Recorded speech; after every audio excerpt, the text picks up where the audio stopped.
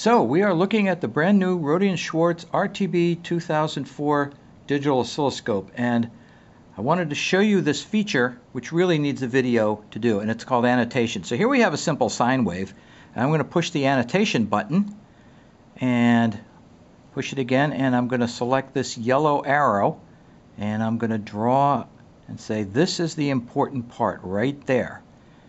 But I also want to put a note there because I don't know what that means. So I'm going to hit it again and I'm going to just type the text and I'm going to say this one. Hit enter and this one, this one comes up right there.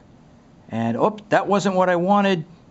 So I'm going to go in and I'm going to erase the whole thing because I didn't really want that at all and, and I can hit it again and get rid of everything.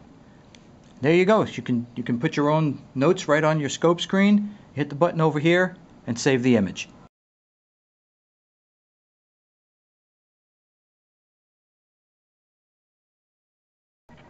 Okay, so we're going to look at the FFT function on this new Rohde & Schwarz RTB 2004 digital scope. And we've got a we've got a simple square wave over here, and let's look at the FFT. So I'm going to push the button.